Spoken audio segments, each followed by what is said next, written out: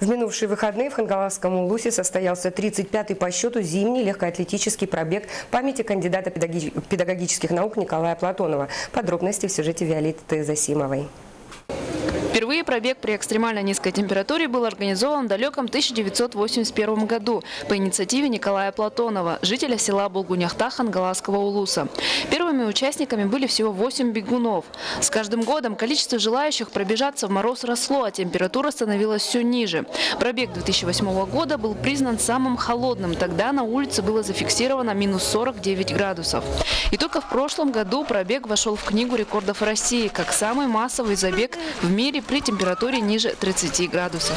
Он вообще по специальности, он учитель физкультуры, и потом он защитил в 1998 году защитил кандидатскую диссертацию в экстремальных условиях, э, как э, организм человека э, реагирует и как адаптируется. И он вот это изучал и начал проводить вот этот пробег. На этот раз рекорд как по количеству участников, так и по температуре побед не был, но тем не менее собрал достаточное количество бегунов из разных уголков республики.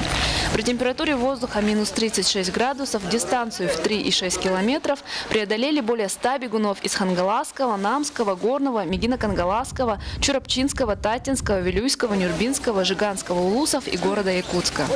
Прибежали очень хорошо и довольны. И бежать-то очень тепло. Свою дистанцию все пробежали? Конечно, побежали. Как? А какие-то призовые места заняли? Не знаю, скорее всего я, нет. я, так думал, что у тебя я победил в группе. да. Э, Артур Ветеранов, Георгиевич ветеран тебя победил. Победил. А если не секрет, вам сколько лет? 70.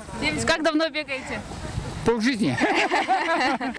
Победителей определяли в 24 возрастных категориях, начиная от 17 лет до 75. Самым первым дистанцию в 6 километров одолел Роман Мартынов, студент СВФУ. Холодно. Но против ветер. И дыхание сбивает. А так, в принципе, все нормально, хорошо. Участников много. Мне понравилось. Из девушек Алена Прокопьева, также студентка СВФУ. Самым возрастным участником был признан Филипп Гуляев из Татинского Улуса, ему 78 лет.